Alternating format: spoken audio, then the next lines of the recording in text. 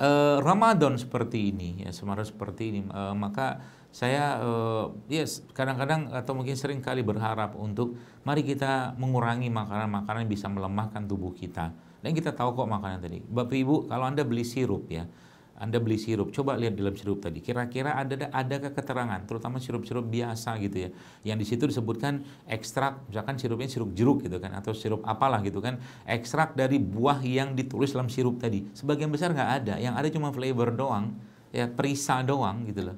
Itu pun ya Uh, itu kan bahan sintetik semua ada perisa, pengawet, ya gula pasir dan segala macam. Jadi orang akhirnya Ramadan itu atau mungkin di hari lo, di luar Ramadan pun yang dimakan itu sebagian besar bahan-bahan sintetik. Boro-boro kita bicara makan jeruk ya.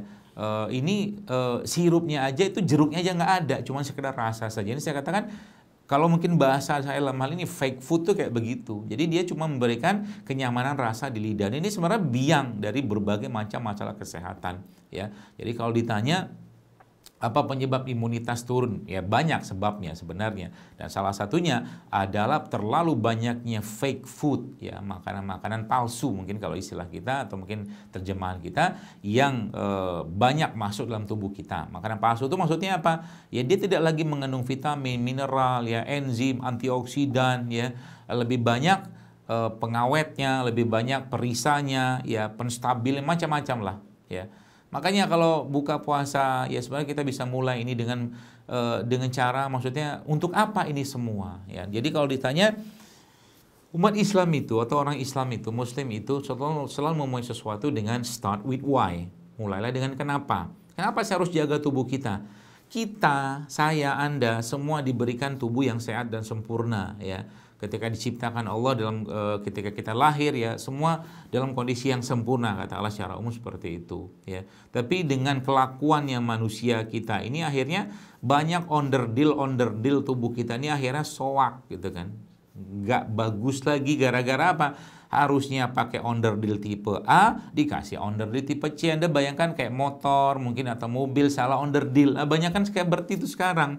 Sehingga tidak heran Penyakit autoimun itu yang kita kenal sekarang ya banyak sekali jenis autoimun. Ada puluhan jenis penyakit autoimun itu eh, jamaah sekalian itu kan sebenarnya salah deal gitu kan.